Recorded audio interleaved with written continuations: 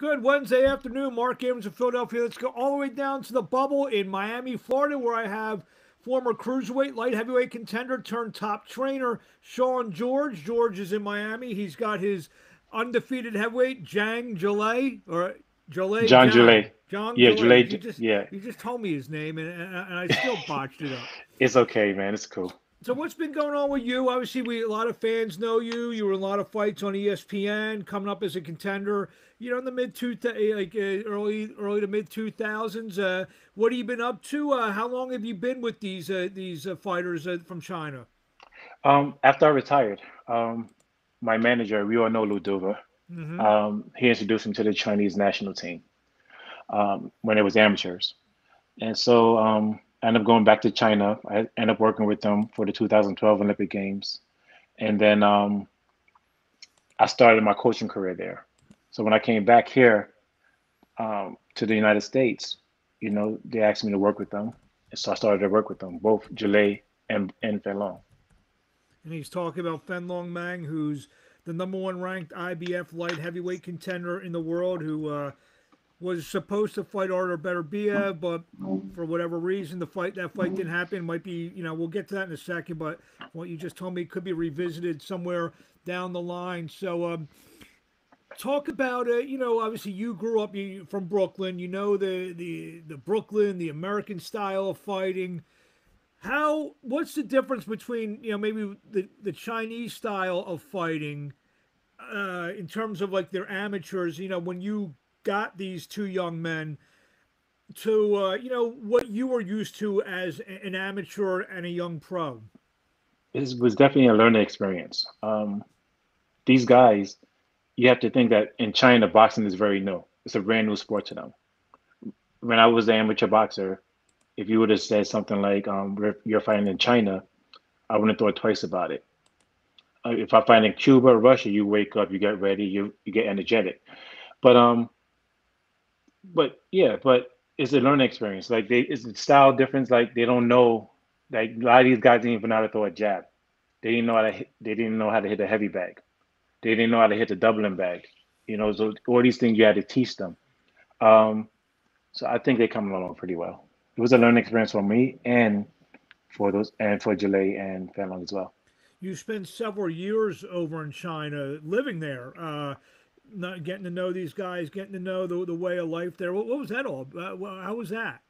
It was it was interesting. It was fun. It was it's listen. I'm a person that I'm I could be comfortable anywhere in the world. I could be in Brooklyn. I could be in Gates Avenue in Bed-Stuy, Brooklyn. I could be in Marquette, Michigan. I could be in Beijing, China. I could be in Moscow, Russia. I'm comfortable everywhere. You know, so learning different cultures, learning other, learning different things uh, is a big thing. Is is um is I like it. It's a good experience. And I know obviously they they they've been here a while.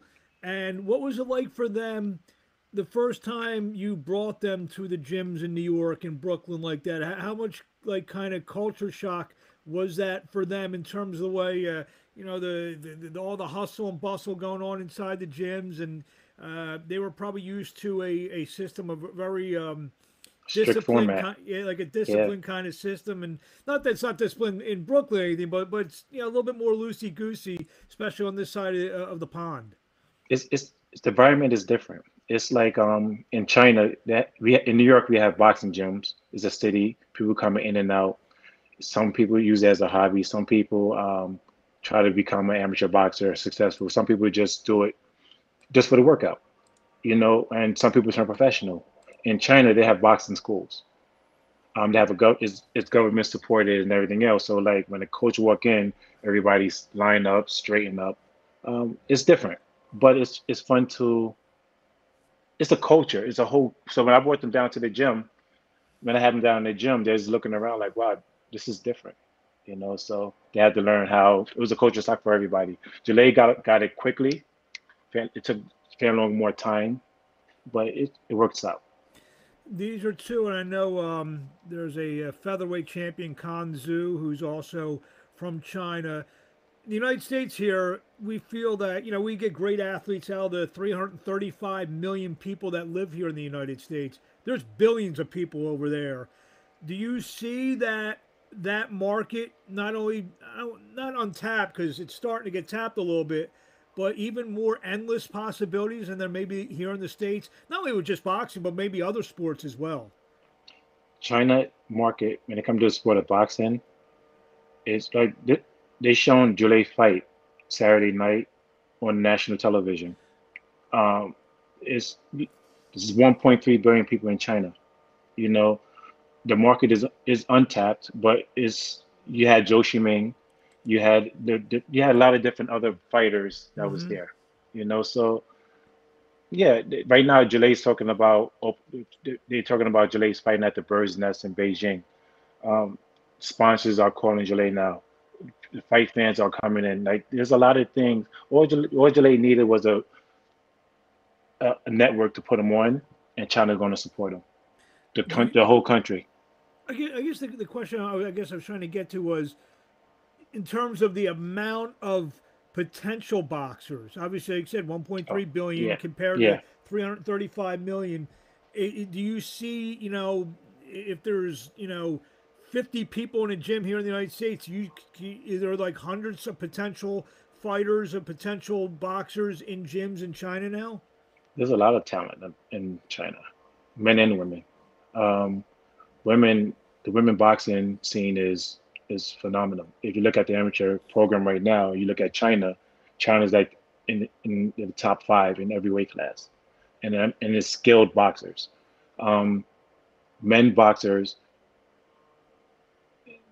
they have a lot of potential out there, like junior middleweights, the lighter weight classes, um, the junior middleweights, the welterweights, the junior welterweights. There's a lot of talent out there. Yes. And how about the, the boxing, the, the, the mainstream boxing over here? He, obviously, he's fighting on a big card with Canelo Alvarez. They're showing that, you know, you said they're showing the fight on the big network over in China. Do they know who Canelo Alvarez is over there? Yes, um, he's a big superstar. Everybody, he's a he's a world star. Like everyone knows him. Yeah, they know. They, everyone know Anthony Joshua. Everyone know who Tyson Fury is. Um, they're block. They're fight fans out there and, and you, you, it was a good segue here. I know there was a there was an article or a little news item a couple weeks ago of, about how I guess Zhang said that um, a potential heavyweight championship fight in China would be absolutely massive in terms of I know there. I mean, I went to Macau and I know it's different. I know one's mainland, one's not, but there's yeah. there's a lot of money there to to to back a, a potential event like that? Is that what, what you got? And and obviously you speak to a lot of people there. Is so that... the money's there?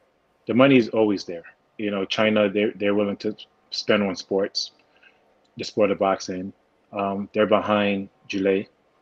Um, so I don't think that's ever going to be a problem. It's just come. It's just Eddie got one have Eddie Hearns has to needs to come down and you know make make some kind of deal with them with DAZN and those guys. You know, but China's willing and able to do it. So can you see uh, he's 22 and 0, and he's fighting Jerry Forrest, and we'll get in that into that in a second. Fighting Jerry Forrest on, on Saturday. Can you see? I, I, know he's ranked pretty high. I believe in the is it the WBO? He's ranked the highest. He, I think. He, yes, WBO. Um, he's ranked. Uh, what is he? I think he's ranked number 10. Okay. As of right now, as number um at the WBO. Um, I haven't been checking the rankings in, over the past year. This pandemic hit. Yeah. My focus has been solely on solely on making sure Jalay is right for this fight. You know, we're taking Jerry Forrest seriously, but we, we do want the bigger names. We do want to fight. We we were hoping we gonna get a bigger name on this fight card. Jalay wanted to fight the bigger names, the Hrgovic, the, um, the Derek Chisora. Um, you if you ask Jalay who he wants to fight, it doesn't matter if you give him a name, he he's going to tell you, okay, you know. So and he's been like this for years now. So it's not the reason why we're not fighting a bigger names is not about Jalay or or it's not about we we wanted to step up since we 16 and 0. So now that we signed with Eddie Hearns and he understands that, so we're looking for after this fight something bigger.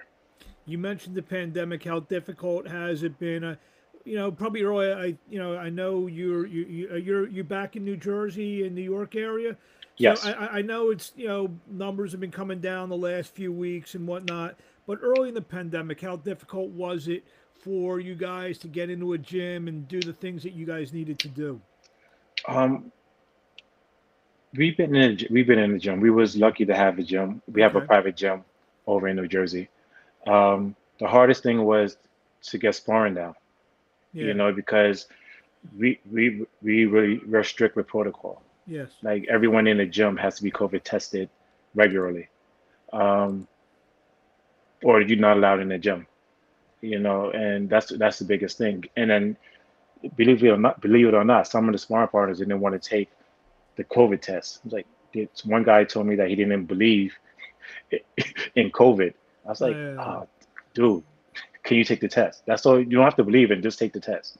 But yeah, um, for this fight though, we had some good sparring. So Our mutual good friend of ours, Ryan Songalia, loves Shaun George, one of the true good people of boxing.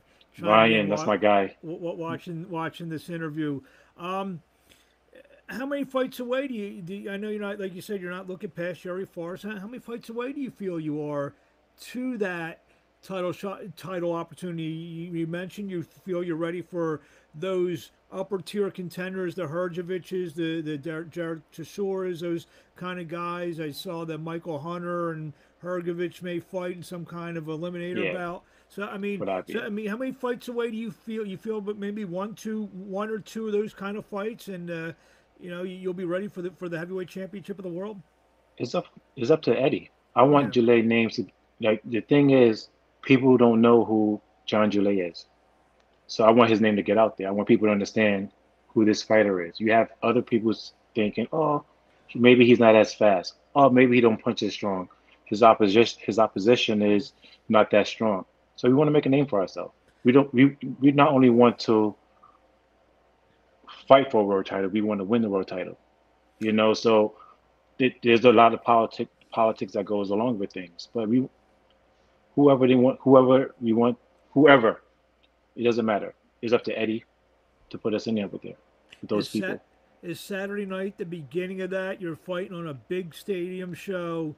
Canelo Alvarez, but you know a lot of eyeballs. Uh, how important is it not only to win, but to, to really make a statement, an emphatic knockout, a beatdown, whatever? I mean, is that you know I know a lot of fighters and try. We just want to get out get out there with a win, but how important is for uh, him to, to, to score a big knockout on Saturday night? We're focused on winning, but also Jalay knows that it's not only if you win, it's how you look when you win. You know, I don't know if you're going to get the credit we deserve after we get this fight because people are looking for Jalay to fight bigger names and to step up. I was looking for a bigger name and much more of a step up for this fight. Um, but we're here with Jerry Forrest, and we're going to handle our business. Jalay is excited. I'm excited. Fight, this is fight week, and we just want to get in there and do our thing. Is it, is it a little bit different? Like I said, being that it is a, a lot of eyeballs are going to be on this show all over the world. In China, you mentioned, and all over the world because of Canelo Alvarez. It means is is it a little bit different? Like you said, how important it is to, or is it just another fight? That's a fight. Like, Yeah. like, listen, like Jalay. I've been around the boxing for a really long time, Yes, you have. Yep. right? Jalay's been around the boxing for, since he was 16 years old, right? Jalay was want to fight. Listen, he don't care who you put in a ring with him, right? But now he now he's starting to realize that okay, damn, I want to fight the top ten, the top ten um, contenders. He wants to he wants those guys. Um, it's just a fight. You know what I mean? You win, you lose, but we here to fight. We here to compete, and that's what and that's what I want to get get everybody to understand. It's not that Jalay doesn't want to fight these guys. He wants to fight these guys. Yeah. Um, break down the heavyweight division. I mean, it's obviously uh, looks. Hey, give me a name. Fury- Give me well. Well, I'm saying it looks like Fury and Joshua may fight once or twice in the next year when things get. Who's Yeah. Shaun So we. George, who's Shaun George picking in, in, in that uh, in those fights? And okay, in in Tyson Fury versus Joshua, Joshua. Anthony Uh-huh. Joshua, I like both guys, man. I I like both styles. Um, I would like to see Anthony Joshua win the fight. I don't know is that if that's going to happen or not. He's very capable of doing it. It's one of those fights where I, I want to see what happens. I'm I'm going to rock with Anthony Joshua. Um, but Tyson Fury, six nine, um, almost 300 pounds basically when he, when he stepped into that ring. The reach advantage, that's hard to get over, and he's a moving heavyweight. There's a lot of, you know, and then people, and I think that um, Anthony Joshua doubts himself right now. You know, over his last two two fights that I watched, when he fought Andy Ruiz the second time, and when he fought um, Pulev, like he's he's he's doubting himself in the ring. So we'll see what happens. And, and obviously, and I'll, I'll say, I know you probably doesn't. If, if Joshua wins, it becomes a little bit easier of a fight to make uh, for your guy too, being that they're Yeah. both. With, That's with, why with, with Eddie That's why I'm rooting for him. This is why I'm rooting for him. You know, it's it's easier fight to make. Um, I think that, you know, so I wish wish um, Rob McCracken, his coach, and um, Anthony Joshua well. I, I, I- know. Um, I'll just get back to the China thing. I know you were a, major amateur fighter, great pro fighter, and you've been, you've been all over the world. Did you pick up anything from the Chinese system that you incorporate into your, your daily training stuff? That that you know, obviously you had a world of experience inside the ring, outside the ring, but then you go to China. Did you learn something that, that you now put in your bag of tricks in terms of uh, training methods? I learned, I learned a lot. Um, listen, nothing I want to talk about. If you're in the gym with me, actually, I got to invite you down to the gym one day. I'm in, I'm in You know, so I'm not that far yeah. away. Okay, yeah, that's what I'm saying. We we up there sometime too, right? But um, yeah, you can come down to the gym, and you see, but have different methods. We do different things. Um, my the key with me is just making adjustments according to what's happening, according to training. Mhm. Um, don't make it boring, but you keep learning when you're doing things. Well, if you guys have been in Philly, have uh, uh, Zhang and um, Fenlong, have, have they uh, have they had um, cheesesteaks yet when they came to Philly or no? no, they didn't. Well, They real tradition. Um, Jule, he Jule experiment. He likes to experiment with food. Fan Long, not he's he likes his Chinese food. Well, he probably doesn't like the Chinese food that, that's over here. over, no, this is a commercial. Yeah, no, no, Yeah. wa- it's fine. When I went to Macau, uh, I love Chinese food. I I, I- I was looking for like uh, General Tso's mein. chicken. Yeah, Yeah. for all that stuff. I'm like, where They're like, it? what? That's like, what? They- No, that's they- not they- Chinese they- food. It's American food. Yeah, no, I know that now. I was, Yeah. I was like all excited. I'm like, I'm gonna get authentic General Tso's chicken, and then it was even there. So, uh, and last couple questions. Uh, what do you want to say to the fans out there in closing uh, about um, you know your fighters uh, going forward? Anything you want to say about the fight on Saturday night? Um, February 27th. Um, you could look it up on DAZN. Get the app. It's cheaper. Um, you could watch it on pay per view. Um, you could buy it on pay per view. It's going to be there. Look out. Listen, the main event. Let's be serious. Is about John Gillette, not about Canelo Alvarez. No, no, At no, least in my no, mind. No, In, in my say- mind. I used to when I used to say uh, when I have fighters fighting on big cards, I'm like, oh yeah, that guy, hey, uh, Pacquiao's the walkout bout. You, my, my, my- yeah. Exactly. And uh, where do we find you on social media? Anyone want to touch up? Maybe some, maybe, maybe obviously, uh, fighters are always changing trainers all the time. Maybe, maybe, maybe they, maybe they Yeah. need, need a new voice in there, and Shaun George uh, could, could be their guy. How, how do we find you on social media?